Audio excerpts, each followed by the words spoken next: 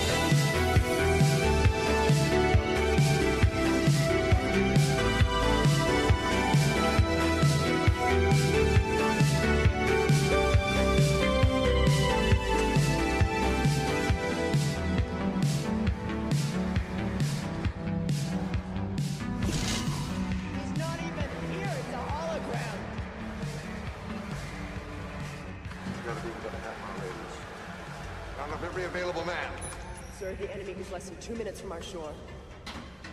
What's it to be, Plishkin?